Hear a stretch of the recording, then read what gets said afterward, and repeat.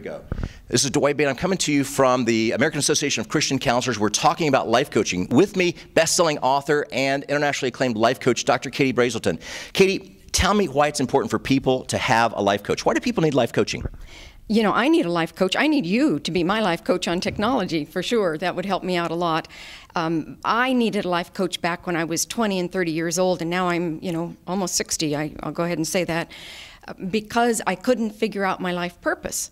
And I had this angst in my soul, and I kept looking around who can mentor me, who can disciple me? Well, where are they now, Dwight? Where are those discipling programs in our churches and those mentoring programs that used to abound? They have, in many churches, disappeared. And so I want somebody for myself to move me along to the next step.